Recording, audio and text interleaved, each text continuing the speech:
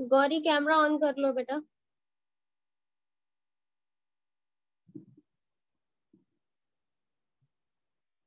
या सो so, देखो बेटा यहाँ पे फ़र्स्ट क्वेश्चन क्या था? Explain why whole number are not closed under division explain why whole number तो होल नंबर में आपको पता होल नंबर में क्या होता है? जब हमने डिवीज़न वाला किया था तो हमने पढ़ा था ना कि जो हमारे रैशनल नंबर होते हैं, उसमें लाइक अगर आप यहाँ पे करते हो फ़र्स्ट क्वेश्चन आपका जो था, उसमें सारे होल नंबर्स में कौन कौन आता है? होल नंबर्स के सेट की अगर मैं बात करूँ तो ज़ीरो से स्टार्ट होगा one two and plus infinity right अब देखो, यहाँ पे किसी भी नंबर क्लोज्ड बोला ना तो क्लोज्ड में क्या होता है? क्लोजर प्रॉपर्टी क्या होती है आप लोग की? बताओ जल्दी से।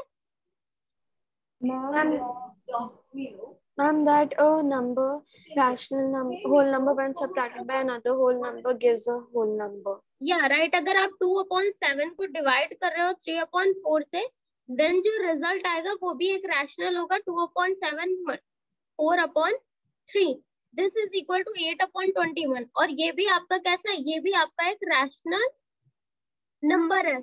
तो बाकी सारे नंबर्स के लिए तो ये ट्रू है बट यहाँ पे एक नंबर आ जाता है लाइक अगर आप क्योंकि होल नंबर पे तो ज़ीरो भी होता है।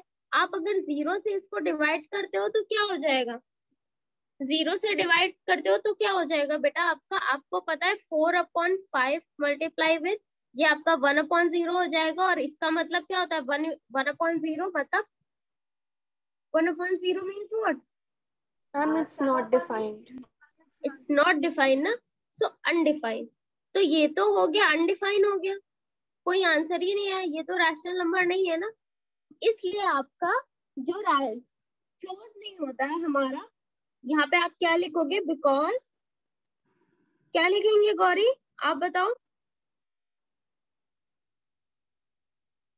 Ma'am because division of a whole number by a whole number doesn't always give a whole number, and when it's divided by zero yeah the answer would be not not defined. हाँ because आपका whole numbers में zero भी ऐसा number होता है जिससे अगर आपने डिवाइड किया तो आपका रिज़ल्ट अनडिफाइन हो जाएगा, और ऐसे केस में आपको जो रिज़ल्ट जो क्लोजर प्रॉपर्टी वो ट्रू नहीं होगी। That's why we can say कि आपका जो ये होल नंबर होता है are not close under division right बाकी सारे नंबर्स के लिए होता है लेकिन अगर ज़ीरो की बात करते हैं तो फिर ये ट्रू नहीं होता राइट सेकंड वाले की अगर मैं बात करूँ तो सेकंड हाँ? मैम लेकिन अगर फ्रैक्शंस में आंसर आएगा वो भी नहीं काउंट होएगा ना? क्या हुआ बेटा? मैम फ्रैक्शंस में आएगा तो वो भी नहीं काउंट होएगा। क्यों? मैम क्योंकि होल नंबर्स में तो ज़ीरो से इन्फिनाइट में वो रैशनल नहीं नहीं रैशनल नंबर क्या होता है बेटा? रैशनल तो आपके फ्रैक्शंस भी होते हैं। हम यहाँ पे क्या प्रूव कर रहे हैं? क्लोजर प्रॉपर्टी क्या बोलती है कि if you are dividing two rational number यहाँ पे होल नंबर ये मत समझो। ठीक है? आप अगर दो नंबर्स को डिवाइड कर रहे हो डिवाइड कर रहे हो तो उनका रिज़ल्ट भी आपका एक रैशनल नंबर हो जाए हमारे सारे होल नंबर भी रैशनल नंबर होते हैं राइट यस मैम आप डिवाइड करो तो अगर फ्रैक्शन में भी आ जाता है तो फ्रैक्शन आपको होल नंबर रिज़ल्ट नहीं लाना है आपको एक रैशनल नंबर रिज़ल्ट में लाना है। तो रैशनल नंबर आता है जब आप होल नंबर्स को डिवाइड करते हो राइट yes, तो वो रैशनल नंबर हो गया। लेकिन बट अगर ज़ीरो से डिवाइड करते हो तो अनडिफाइन हो जाता है। That's why we can say कि आपका ये होल नंबर्स जो होते हैं are not closed under division now clear yes ma'am अब आ जाते हैं सेकंड क्वेश्चन सेकंड आपका क्वेश्चन क्या था यहाँ पे? What number should be in, excluded from the collection of all other rational number to make them closed under division किसकी वजह से ये क्लोज नहीं हो पा रहा है? किसकी वजह से क्लोज नहीं हो पा रहा है? एक ज़ीरो ही तो अधिकत कर रहा है। सो so, हम ज़ीरो को अगर एक्सक्लूड कर दे यहाँ से सारे होल नंबर से देन जितने भी नंबर्स होंगे उस फिर हमारा ये ट्रू हो जाए ना ट्रू हो जाएगा अंडर डिवीज़न हाँ? Right right? अगर हम ज़ीरो को हटा देते हैं देन फिर हमारे रैशनल नंबर सारे जो भी होंगे क्लोज हो जाएँगे ना under division Shubhangi? yes, yes, Gauri Anya yes, Shubhangi कोई भी डाउट हो तो पूछ ज़रूर लेना ठीक है? थर्ड वाले क्वेश्चन की बात करते हैं उसमें लिखा है what is the identity for इंतहा Sorry, ma'am. Uh, is my voice clear now? या now your voice Yes, ma'am. So, ma'am, if we do 1 divided by 2, ma'am, that will also be equal to 0.5 only. And, ma'am, decimals are not rational numbers. No बेटा decimal this is the तुम लोगों ने अभी नहीं पढ़ा है decimals भी rational होते हैं कहाँ पे हो नहीं देखो बेटा ऑब्वियस सी बात है टू अपॉन थ्री को आप अगर डिवाइड करोगे तो आंसर आपका डेसिमल्स में ही आएगा जब आप नाइन्थ में जाओगे ना, तब मैं आपको पढ़ाऊँगी, अगर आप लोगों का ये डाउट है तो then I can clear here क्या होता है बेटा, आपके ना रैशनल नंबर प्रॉपर्टीज़ को करते हैं, जैसे रैशनल नंबर्स में यहाँ लिख देती हूँ। मैंने बाकी बच्चों को शायद पढ़ाया भी है कि ये दो प्रॉपर्टीज़ को सेटिस्फाई कराते एक होता है टर्मिनेटिंग याद है? और एक होता है non terminating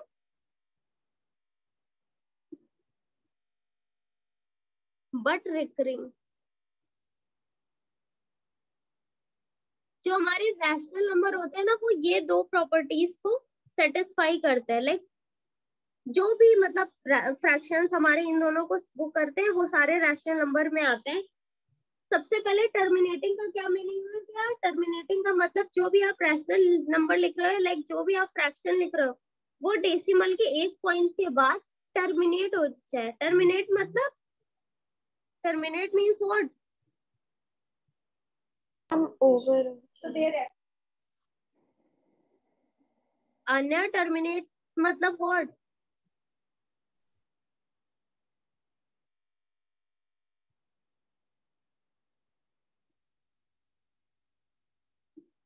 Anya I'm asking you.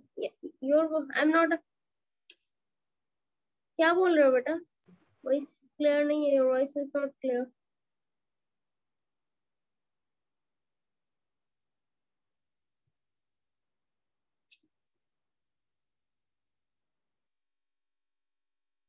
नहीं बेटा योर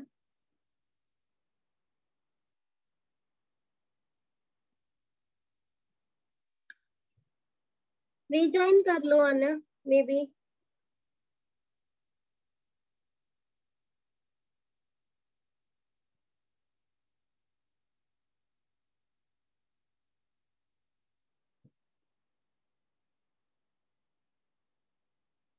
प्रज्ञा शुभांगी तुम दोनों ने तो पढ़ा है बताओ टर्मिनेटिंग का क्या मीनिंग होता? है मैम मतलब वो वन डेसिमल के बाद वो लाइक डेसिमल पॉइंट्स खत्म हो जाएँगे उसके। और कौन बताएगा? मैम हमें ऑडिबल हाँ प्रज्ञा। मैंने सुना। ओके मैं पूछ रही और कौन मुझे आंसर करेगा? शुभांगी आप बताओ टर्मिनेटिंग और non terminate non non terminating but recurring का क्या मीनिंग होता है? मुझे याद नहीं है। गौरी आपको पता है? एक सेकंड में आने का वेट कर रही आ जाए फिर मैं बताऊँ।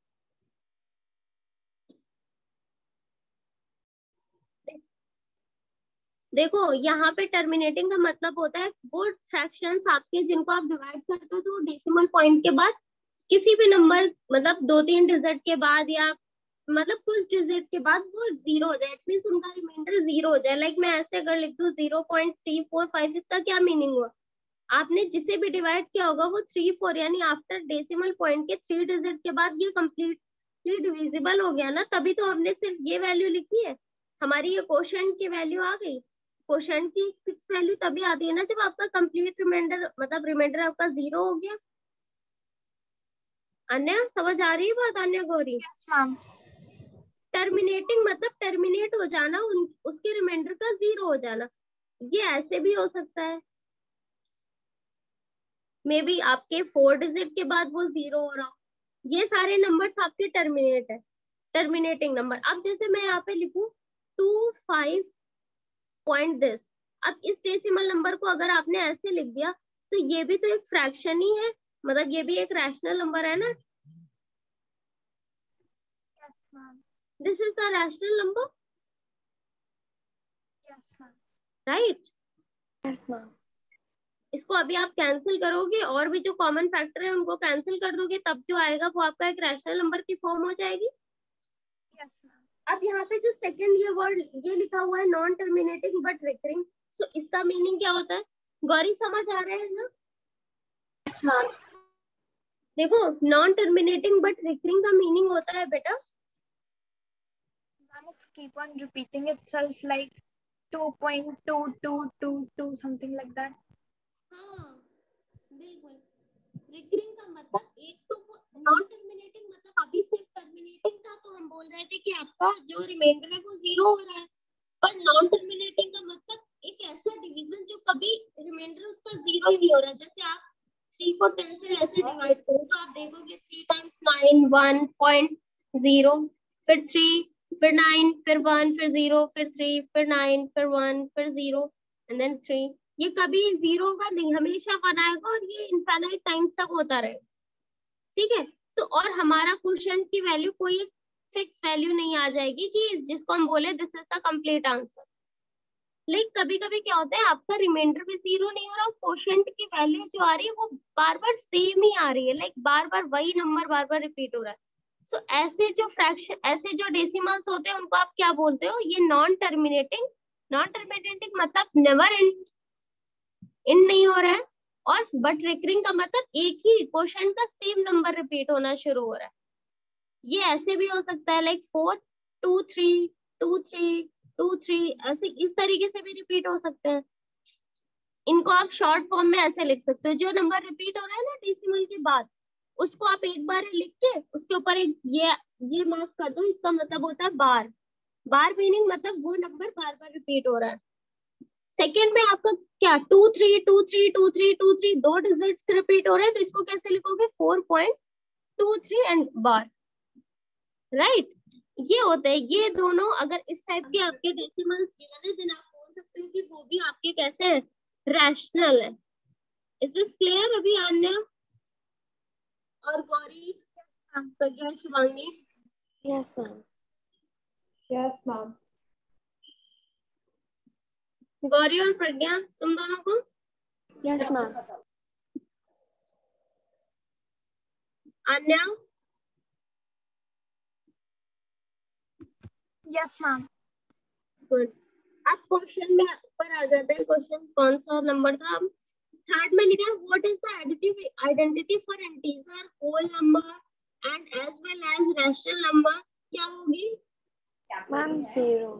ज़ीरो ज़ीरो एक ऐसा नंबर होता है जिसको आप किसी से भी ऐड करते हो ना रिज़ल्ट हमेशा आपका सेम ही आता है। और हमें वही बताना है। कि वो आइडेंटिटी बताओ, जिससे जो मैंने दिया था सेम वैसा ही रैशनल नंबर आपके आंसर में हो। सो ज़ीरो ही एक ऐसा नंबर होगा।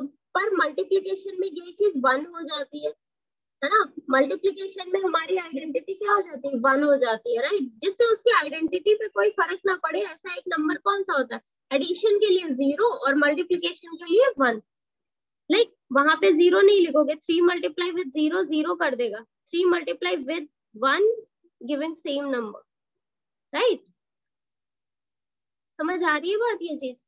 फोर्थ Yes, की बात करते हैं? फोर्थ की बात करते हैं तो फोर्थ में देखो क्या लिखा था यहाँ पे? How many rational number are there whole multi multiplicative inverse is the number itself? Multiplicative inverse का मतलब पता है क्या होता है? Reciprocal.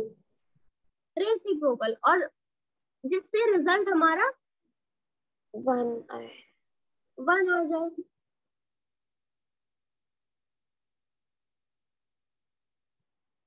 कौन कौन से होंगे Ma'am, uh, two होते हैं. सिर्फ़ वन ही एक ऐसा नंबर होता है वन ही ऐसा नंबर होता है जो आपका क्या है यहाँ पे देखो जो ये लाइन लिखी है ना how many rational number are there whose multiplicative inverse is the number of itself? उसी का जस्ट वो इनवर्स तो कौन सा नंबर होता है? One Minus one. Minus 1. There are two numbers. समझ आ रहा है? प्रज्ञा गौरी शुभांगी। Yes, अन्या? Yes, ma'am. गौरी आपने आंसर नहीं किया? मैम मैंने किया था अच्छा गुड कहीं भी डाउट हो बेटा पूछ लेना ठीक है? ओके मैम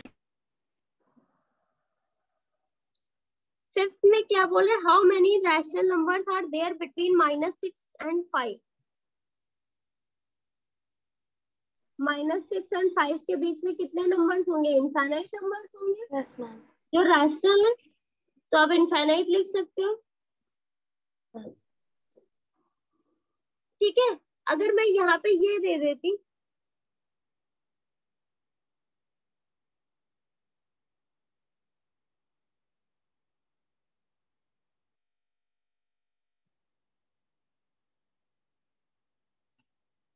अच्छा गौरी इसका आंसर करो बेटा, आप करो पहले, फिर मैं बताती हूँ।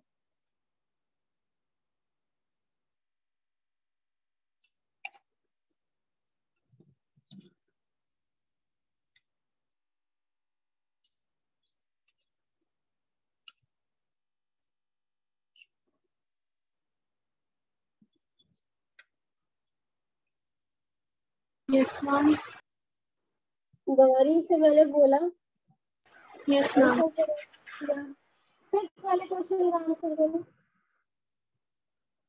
ma'am I can not understand what you saying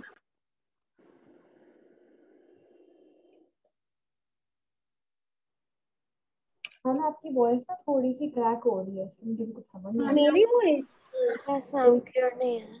एक सेकंड मैं दूसरी डिवाइस से कनेक्ट करती हूँ।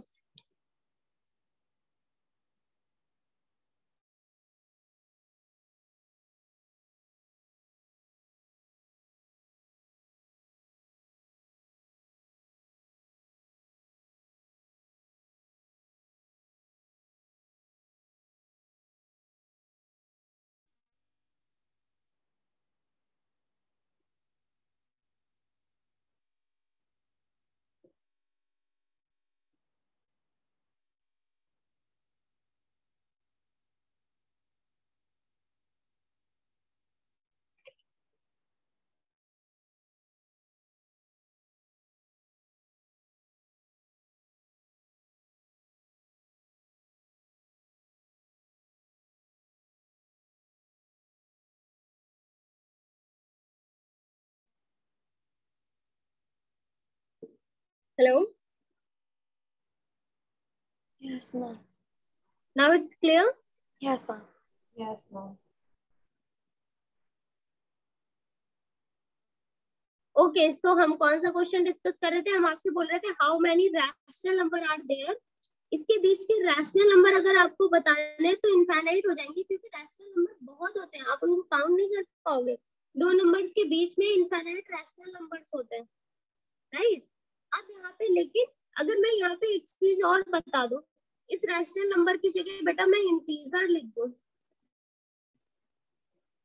अगर इसी में क्वेश्चन और ऐड कर दूँ तो इंटीजर्स कितने होंगे?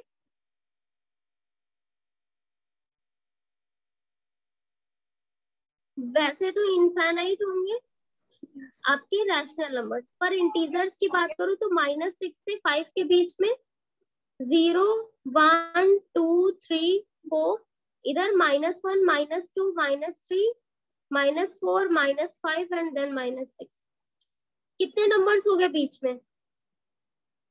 फाइव इधर फाइव इधर. Ten numbers right ten integers अगर इंटीजर्स आपसे पूछ लेता तो टेन इंटीजर पर rational number infinite rational number is this correct समझ आया सारे बच्चों को?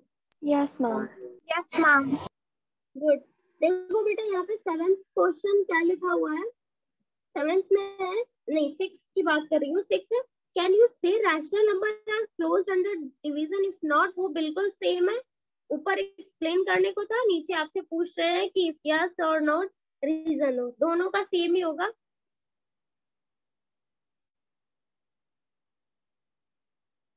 फ़र्स्ट बस यहाँ पे आपको यस या नो में पहले लिखना है और फिर रीजन दोनों का सेम होगा राइट वही रीजन कि वहाँ पे ज़ीरो आ जाता है ज़ीरो से आप किसी भी नंबर को डिवाइड करते हो तो वो क्या हो जाता है? आपका क्योंकि ज़ीरो ज़ीरो एक रैशनल नंबर है ना पर एक रैशनल नंबर से जब आप एक दूसरे रैशनल नंबर को डिवाइड करते हो तो वो अनडिफाइन हो जाता है। दैट्स वाई हम बोलते हैं कि आपका जो रैशनल नंबर है ना वो क्लोज नहीं है under division is this clear to everyone Yes, ma'am. Yes, ma'am. Now come to the seventh question seventh question में आपको बोल रहा है बेटा ये आपको by rearranging rational numbers using property of addition आपको यहाँ पे बताना है इवेल्युएट करना है यानी आपको वैल्यू निकालनी है तो आप देखो three upon seven plus minus six upon eleven plus minus six minus eight upon twenty one plus five upon twenty two ये आपको दिया हुआ है। अब हम यहाँ पे क्या करते हैं? यहाँ पे कैसे रीअरेंज करोगी? शुभांगी आप आंसर करो। क्या मैम? कैसे रीअरेंज करोगे?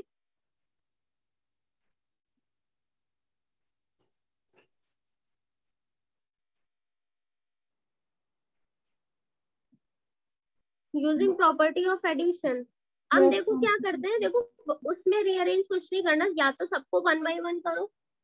पर अगर हम एडिशन में क्या देखते हैं? हमने देखा है ना कि आप दो नंबर्स को आप कैसे भी फ्रैक्शंस को ऐड कर लो फिर अगर थर्ड थर्ड रैशनल नंबर से ऐड करो रिज़ल्ट हमेशा सेम होगा। Right ma'am. लेकिन हम यहाँ पे अरेंज करने का इनका मतलब है कि आप ना कुछ ऐसे करो कि बहुत इजीली सॉल्व हो जाए। So we can write here three upon seven अब सेवन का ऐसा कौन सा नंबर दूसरा दिख रहा है जिससे वो फैक्टर रख रहा हो जिसमें उसका फैक्टर Minus eight I'm होता। 21. Minus eight upon twenty one क्योंकि सेवन और ट्वेंटी वन में एक कॉमन फैक्टर सेवन है। फिर यहाँ पे हमने माइनस सिक्स अपॉन इलेवन और इधर क्या लिख लिया? Plus five upon twenty two अब हमें ये भी पता है कि इलेवन और ट्वेंटी टू में भी कॉमन फैक्टर जो होता है वो एक होता है इलेवन जो कि सेम है। राइट इस तरीके से हमने अरेंज कर लिया। यहाँ पे आपका ट्वेंटी वन आ जाएगा और प्लस यहाँ पे आपका एलसीएम कितना आ जाएगा? ट्वेंटी टू यहाँ पे आपका माइनस ट्वेल्व प्लस यहाँ पे आपका फाइव और यहाँ पे आपका आ जाना है यहाँ पे। Ma'am nine plus eight nine minus ये वन अपॉन ट्वेंटी वन और माइनस ये आपका आ जाएगा सेवन अपॉन ट्वेंटी टू यही आ रहा था और इसको सॉल्व करोगे तो फिर क्या आ जाएगा?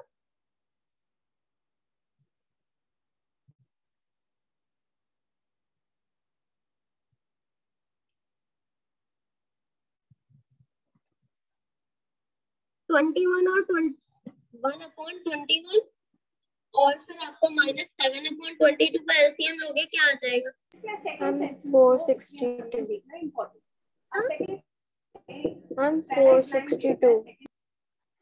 Four sixty two right multiply कर लो। अब ऊपर ट्वेंटी टू से मल्टीप्लाई कर दो, यहाँ पे ट्वेंटी वन से मल्टीप्लाई कर दो। Twenty one into seven seven one forty seven one forty seven को आप करोगे अगर इससे ट्वेंटी टू से तो आपका आ जाएगा यहाँ पे minus one twenty five upon four sixty two this is the answer कितने बच्चों का यही आंसर था? मैंने नेगेटिव का साइन नहीं डाला था उसके मार्क्स कट गए गौरी समझ आया बेटा? Yes, ma'am. अन्य तुम्हारा तो सही था शुभांगी का भी सही था। अब इसके बाद बात करते हैं हम यहाँ पे एट्थ वाले क्वेश्चन की। एट्थ वाले क्वेश्चन को डिस्कस करना ज़रूरी है मतलब हम वर्ड प्रॉब्लम पे अगर करें इसको मैं ऐसे ही बता देती हूँ लाइक यहाँ पे, गौरी आप भी देख लो, हमें P दिया हुआ है, Q दिया हुआ है एंड R दिया हुआ है, सारे टर्म्स दिए हुए हैं हमें इनके वैल्यू बस वेरीफाई हमें कराना है यहाँ पे वैल्यूज़ पुट करके लाइक P के प्लेस पे P का फ्रैक्शन लिखोगे, Q और R के प्लेस पे इनका फ्रैक्शन लिखोगे, इधर सॉल्व करोगे एंड फिर राइट हैंड साइड भी सेम चीज़ पुट करने के बाद सॉल्व करोगे। अब आपको प्रूफ करना है कि L H S is equal to R H S okay यही वेरिफिकेशन आपको इधर भी करना है। इफ़ वेरीफाइड तो आप बोलोगे कि ये दिस इज़ ट्रू दोनों ही आपके वेरीफाई हो रहा है। Right any doubt Gauri Shubhangi Pragya and Anya ma'am इसमें जो. थी ना। क्या हुआ शुभांगी एट वाले क्वेश्चन में जो प्रॉपर्टी फॉलो करी थी P into Q into R equals to P into Q into R ma'am वो एसोसिएटिव प्रॉपर्टी थी ना? एट क्वेश्चन हाँ। राइट एसोसिएटिव प्रॉपर्टी उसी में हम अगर प्लेस चेंज कर देते हैं हमारे रिज़ल्ट में चेंज नहीं होता। और ये सिर्फ़ मल्टीप्लीकेशन और एडिशन में ही ट्रू होता है। आ रही है बात ना समझ में? डिवीज़न और सब्ट्रैक्शन में नहीं ट्रू होती है। क्योंकि वहाँ पे प्लेस चेंज किया आपने तो आंसर भी चेंज हो जाता है। सारे बच्चों को समझ आ रहा है ये? यस मैम वाले को मुझे डिस्कस करने की कोई ज़रूरत नहीं है। अब हम लोग सारी जो वर्ड प्रॉब्लम है ना बेटा, उनको डिस्कस कर लेते हैं, क्योंकि जितना भी सबका गलत हुआ है, वो इसमें ज़्यादा हुआ है। सबसे पहले देखो, यहाँ पे फ़र्स्ट जो ये वर्ड प्रॉब्लम लिखी हुई है, इसको रीड करते हैं। लिखा हुआ है यहाँ पे आपका बेटा the highest score in a in a cricket test match in an inning was 3 and 3 upon 11 of the total and the next highest was 3 upon 10 of remaining. If the difference between two scores was 24 run, what was the total score? सबसे पहले इन्होंने क्या बोला the highest score in a cricket test match in in an innings was three upon eleven of the total यानी total हमें यहाँ पे जो भी जिसका भी चीज़ निकालनी होती है ना, हम उसको लेट करके चलते हैं बेटा। अब हमें यहाँ पे टोटल स्कोर निकालने है ना। टोटल स्कोर निकालने हैं तो हम यहाँ पे क्या करेंगे? सबसे पहले क्या लेट करेंगे? सबसे पहले हम टोटल स्कोर को लेट करेंगे। एक हमने यहाँ पे लिखा, ये नाइन्थ वाला है। नाइन्थ में हमने लेट किया। Let the total score of the inning be x runs. क्योंकि रन ही है स्कोर तो रन में होता है ना, इतने, इतना स्कोर इतने रन ठीक है रन हो गया। फिर उन्होंने बोला, फिर कंडीशन क्या थी इन्होंने बोला highest score of the inning कितना था? थ्री अपॉन इलेवन था ना टोटल स्कोर का? So you can write three upon eleven into x it becomes three x upon eleven is this right correct yes ma'am Gauri Gauri आप ही नहीं हो तो आप बेटा ज़्यादा आंसर करो। मतलब मैं सारे बच्चों Yes. हाँ अब देखो अब इन्होंने बोला कि जो रिमेनिंग यहाँ पे एक लाइन आपने अभी पढ़ी थी and the next highest score was the three upon ten of the remaining अब रिमेनिंग का मतलब क्या है? पहले तो हाईएस्ट स्कोर इतना था टोटल का, इतने ही नहीं। तो हमने क्या किया? हमने टोटल स्कोर का उतना निकाल लिया three upon eleven of x अब रिमेनिंग कैसे निकालेंगे? तो रिमेनिंग स्कोर कितना हुआ? रिमेनिंग स्कोर हमारा total minus three x upon eleven ही तो हुआ बेटा। टोटल में से हम ये जो थ्री एक्स है फाइव फ़र्स्ट वाला स्कोर उसको सब्ट्रैक्ट कर दे तो हमारा बात का रिमेनिंग स्कोर आ जाएगा ना। Eleven x minus three x upon eleven is equal to nine it is equal to eight x eight x upon eleven हो गया? ये आपका रिमेनिंग स्कोर है। Right right? अब इन्होंने बोला कि जो सेकंड था ना next highest score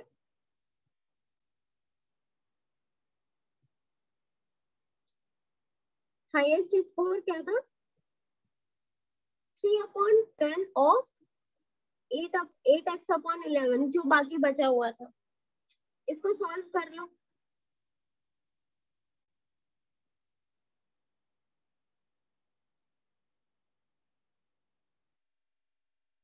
fifty five x ठीक है तो फ़र्स्ट हाईएस्ट स्कोर आपका आ गया। First highest score is this and second highest score is this right clear सारे बच्चों को? Yes ma'am Shubhangi Anya Gauri. Yes ma'am Yes, ma'am. अब फिर बेटा इन्होंने बोला if the difference between two score was 24 इन दोनों का डिफरेंस इन्होंने बोला if the difference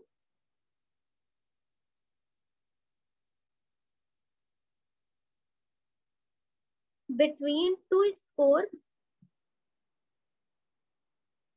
score twenty 24 तो दोनों का डिफरेंस कैसे लिखेंगे? 3x upon 11 minus 12 upon 55x is equal to 24, right?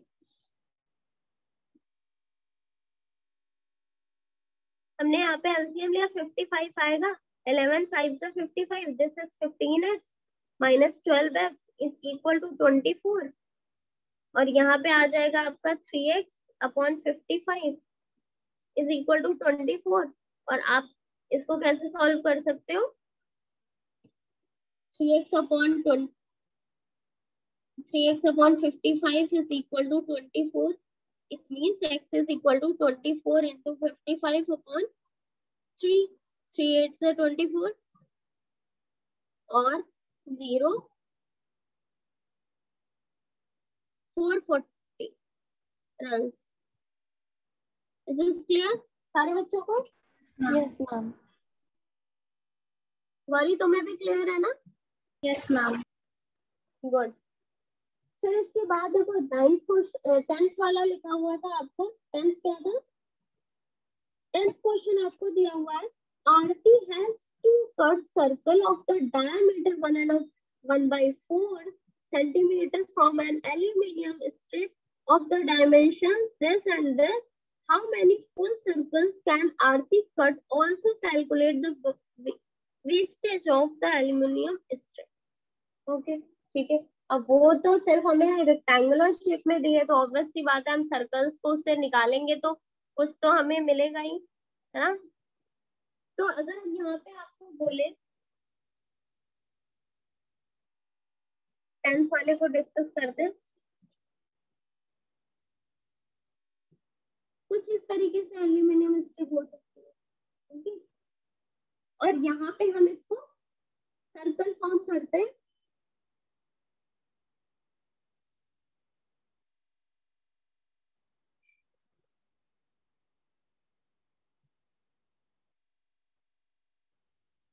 इन्होंने जितना हमें बोला है ना इन्होंने हमें क्या डायमीटर दिया है? डायमीटर जैसे ये एक सर्किल हुआ तो इन्होंने हमें ये दिया हुआ है डायमीटर क्या होता है? Two times of the radius Yes, ma'am. Diameter of circle is two R होता है ना? Yes, ma'am. आर की वैल्यू कैसे निकालो? डायमीटर का हाफ़ करके और डायमीटर आपको इन्होंने डी इज़ इक्वल टू क्या दिया? वन है ना one by four it means five upon four इसका हाफ़ करोगे तो फाइव अपॉन फोर का हाफ़ कितना आ जाएगा? फाइव अपॉन फोर का हाफ़ कितना आ जाएगा? I'm five upon eight. Five upon eight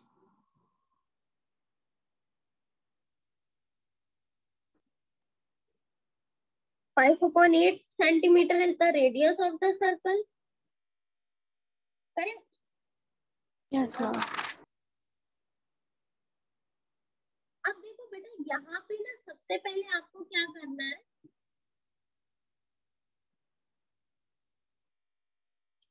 एक चीज़ मेरे को आंसर करो, सारे बच्चे। शुभांगी, गौरी, आन्या, तुम सबका कैमरा ऑफ़ हो गया।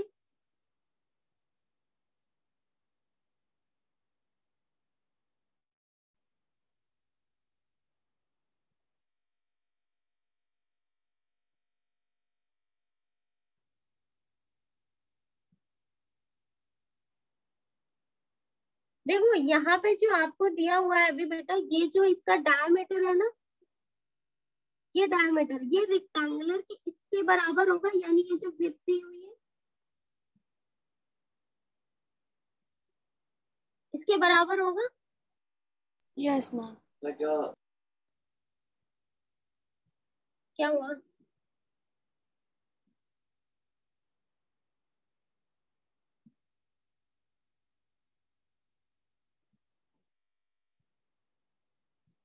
तो अब ये बताओ, मैं आपसे बोलूँ कि आपको ना एक कॉइन मैं दे दूँ।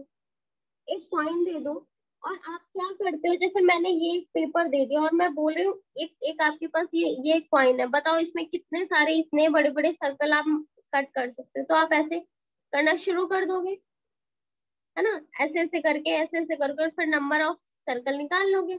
जो भी है फ़र्स्ट उसमें जितने आएँगे, उसी का बस मल्टीप्लाई हो जाएगा। ठीक है? लेकिन यहाँ पे देखो, हमें डायमीटर किसके इक्वल दिया गया है? डायमीटर आपका इस विथ के इक्वल है। विथ के इक्वल है। अब जो डिसाइड करेगा, वो हमारा लेंथ ही तो डिसाइड करेगा, क्योंकि विथ हमारा क्या कर रहा है? विथ जितनी विथ उतने का ही हम एक सर्कल फॉर्म कर रहे हैं ना मतलब उसकी हाफ़ का रेडियस लेके। तो हमारे पास नंबर ऑफ़ सर्कल निकालने का सिर्फ़ क्या है? अगर हम लेंथ से डिवाइड कर दे बेटा लेंथ से ये रेडियस जो हमने निकाली है ना मतलब जो आपका डायमीटर ऑफ़ द सर्कल है, उसको अगर हम डिवाइड कर दे तो हमें पता चल जाएगा हमें यहाँ से कितने सर्कल मिलेंगे। बताओ मेरे को, अगर ये जो लेंथ आपको दी गई है लेंथ की क्या डायमेंशन थी? Eight and three by four और ये आपको दी गई थी one and one by four. आप देख सकते हो डायमीटर भी आपको यही चीज़ यही दिया हुआ है। तो Yes. अगर आप तो लेंथ से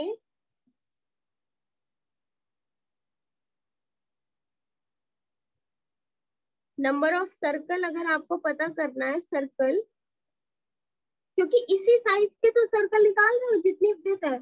उसी साइज़ के तो सर्कल है ना आपको तो फिर तो अब तो सिर्फ़ एक फैक्टर मेरे पास बचा है जो लेंथ है। लेंथ ये डिसाइड कर देगी कि आप कितने, जितनी बड़ी जितनी बड़ी स्ट्रिप होगी, उतने सर्कल फॉर्म हो जाएँगे।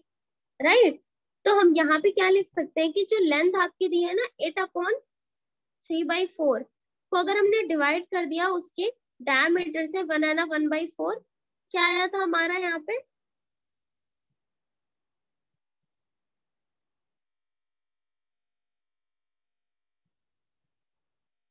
थर्टी फाइव अपॉन फोर और ये आ जाएगा five upon four right four और फोर कैंसिल यहाँ पे thirty five upon five. Five seven सा थर्टी फाइव यानी नंबर ऑफ़ सर्कल कितने हो गए?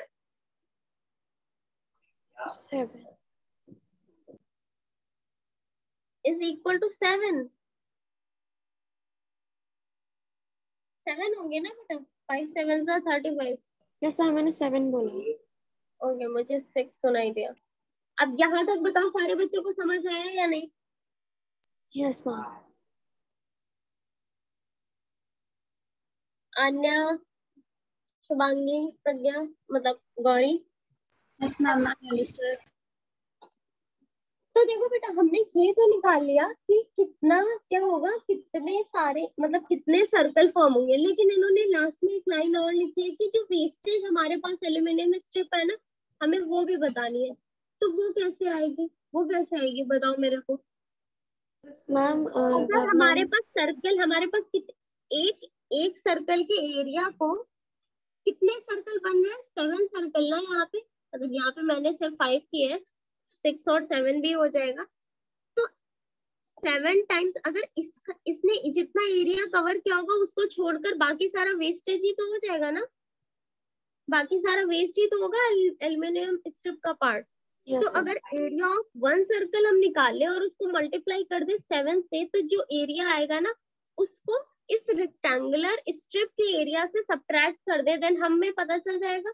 क्योंकि जितना सेवन सर्कल ने एरिया कवर किया होगा वो सब्ट्रैक्ट हो जाएगा हमारा रेक्टेंगुलर उसके रेक्टेंगल ये शीट के एरिया से। और बाकी जो डिफरेंस आएगा ना मतलब जो दोनों का सब्ट्रैक्ट करके जो आंसर आएगा वो क्या हो जाएगा? वो wastage part of the this strip होगा राइट तो यहाँ पे क्या करेंगे?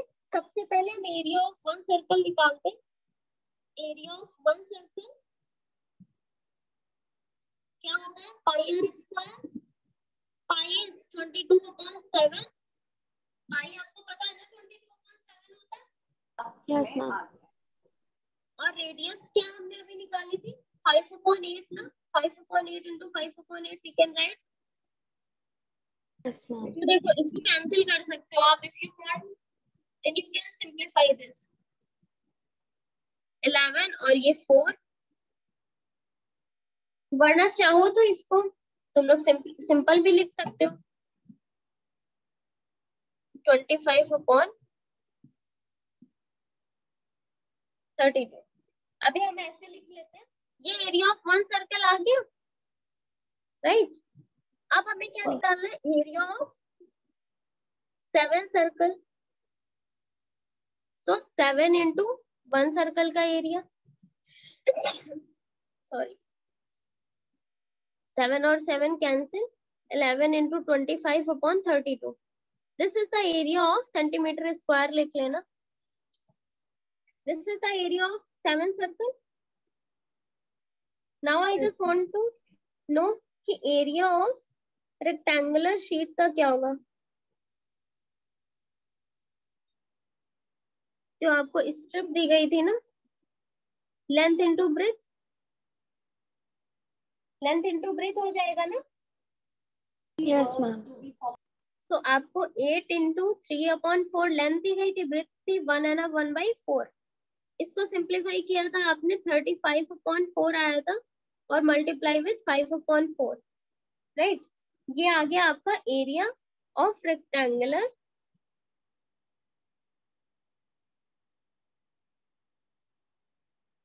rectangular strip दोनों को सब्ट्रैक्ट कर दो, यानी एरिया ऑफ़ जो आपका वेस्टेज एरिया है ना वेस्टेज पार्ट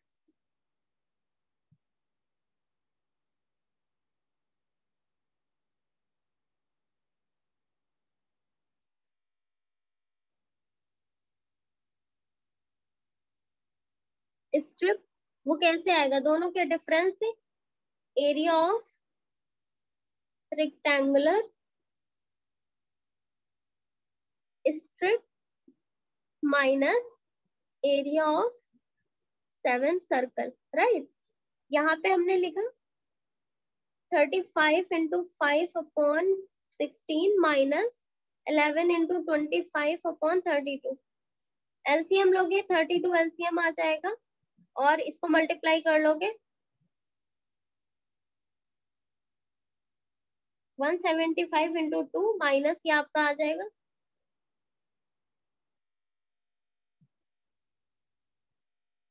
Right right? और यहाँ पे आपने किया zero five and this three minus two seventy five upon thirty two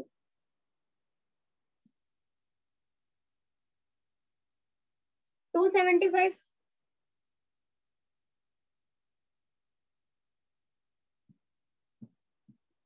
अब इसको सब्ट्रैक्ट करो तो आपका क्या आ जाएगा यहाँ पे? थ्री फिफ्टी से आपने 275 को सब्ट्रैक्ट किया 5 और यहाँ पे आपका 7 यानी आपका 75 अपॉन 32 आ गया। This is your answer square जो भी आपका आया है सेंटीमीटर सेंटीमीटर स्क्वायर में आएगा क्योंकि आप एरिया को सब्ट्रैक्ट कर रहे हो। अगर चाहो तो इसको हम मिक्स फ्रैक्शन में भी लिख सकते हो otherwise this is your answer समझ में आया बेटा? यस मैम सारे बच्चों को? Yes, ma'am. ओके एक क्वेश्चन और देख लेते हैं फिर उसके बाद हम नेक्स्ट क्लास में डिस्कस करेंगे। ठीक है? थ्री मार्कर का फ़र्स्ट वाला क्वेश्चन देख लो। थ्री मार्कर का फ़र्स्ट क्वेश्चन क्या है? यानी अलेवेंथ नंबर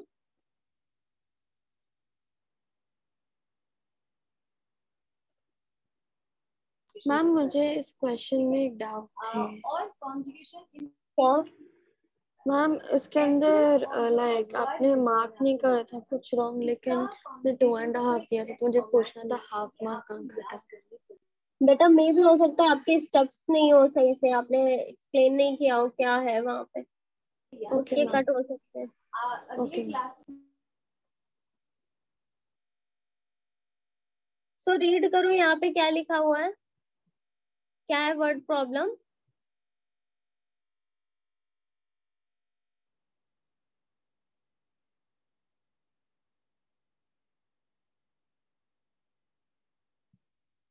कोई भी रीड करे Yes, ma'am. A man donate uh, donate uh, one tenth of his money to a school, one sixth of the remaining to a church, and the remaining money he distributed equally among his three children. If each child gets rupees fifty thousand, uh, how much money did the man originally have? Okay so यहाँ पे बोला एक man जो donate करता है one tenth of his money to a school and one sixth of the remaining to to a church and the remaining money of distributed equally among the three children. If child gets 50,000, how much money did the man originally have? Like like, पहले one tenth part of money उन्होंने school में दे दिया फिर जो बचा one tenth part जो फिर बचा वन टेंथ देने के बाद जो भी अमाउंट बचा उसका वन सिक्स दे दिया चर्च में एंड देन फिर जो अमाउंट बचा उसको थ्री इक्वल पार्ट्स में डिवाइड करके बच्चों को दे दिया। और फिर अगर each children gets fifty thousand then what will be the total amount उसके बाद सबसे पहले कितना अमाउंट रहा होगा? सो so, हमें यहाँ पे जो निकालना होता है ना बेटा हम उसको ही लेट कर लेते हैं। Let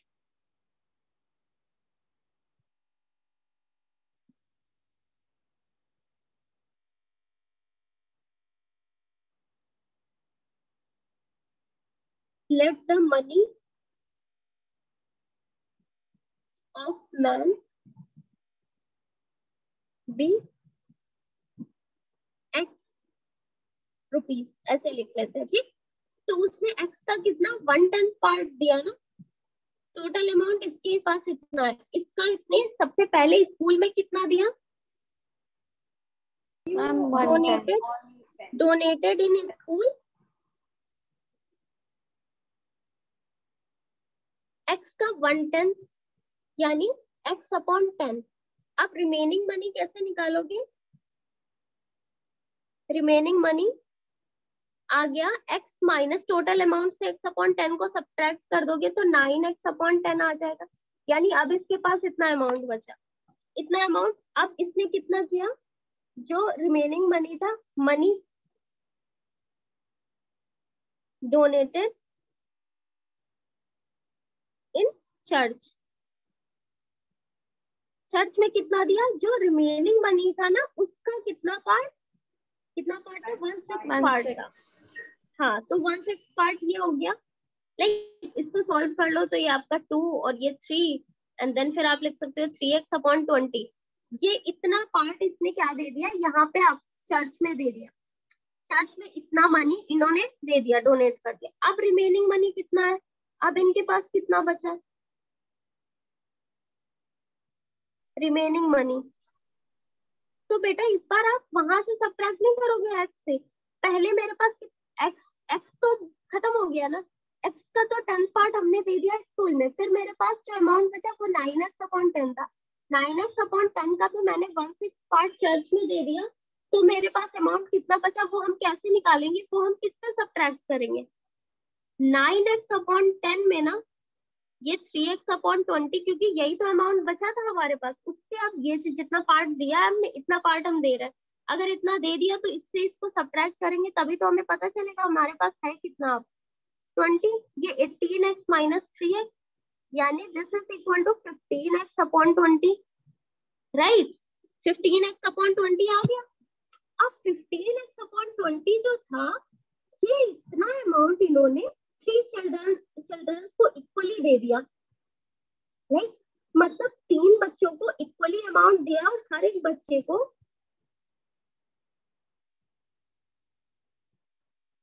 हर एक बच्चे को फिफ्टी थाउज़ेंड मिला है। तो एक बच्चे का अगर मैं निकालू अमाउंट कितना आया होगा? तो वन चिल्ड्रन अमाउंट अगर मैं निकालू तो जो हमें ये टोटल बचा है ना, इसका, इसको अगर मैंने थ्री से डिवाइड कर दिया तो हमारे पास ये आ जाएगा टोटल अमाउंट मतलब ईच चिल्ड्रन का अमाउंट आ जाएगा ये उसी के इक्वल हो जाएगा तो फिफ्टी थाउज़ेंड है। वी कैन राइट दिस अन्य शुभ अन्य प्रज्ञा एंड गौरी मैम हम क्या ऐसे ऐसे भी लिख सकते हैं क्या? Fifteen x upon twenty equals to one fifteen lakh like five fifty thousand into three fifty thousand into बिल्कुल लिख सकते हैं क्योंकि आप क्या कर सकते हैं यहाँ पे आप डिवाइड का साइन करोगे ना fifteen x upon twenty this is one upon three और ये थ्री उधर मल्टीप्लाई तो होगा। यस मैम तो वो भी लिख सकते हो। इसको सॉल्व करो। थ्री फाइव फाइव फोर हो गया। X is equal to five four था ट्वेंटी यानी टू लैख आ गया। इतना इसके पास क्या था? मनी था। इतने रुपीज़ से इसके पास मनी था। जो इसने सबसे पहले वन टेंथ इसका दिया स्कूल में फिर जो रिमेनिंग बचा उसका वन सिक्स पार्ट दिया इसने चर्च में एंड देन फिर जो अमाउंट बचा वो fifty fifty thousand equally distribute किया among the three children right is this clear to everyone Yes, ma'am. Yes, ma'am. anya Yes, ma'am. Okay ठीक है बेटा तो यहाँ तक के क्वेश्चंस की मैं पीडीएफ शेयर कर दूँगी और बाकी के जो क्वेश्चंस है ना वो हम नेक्स्ट क्लास में डिस्कस करेंगे। ठीक? Okay okay. कल की क्लास में। Okay then bye bye see you next class thank you ma'am bye ma'am.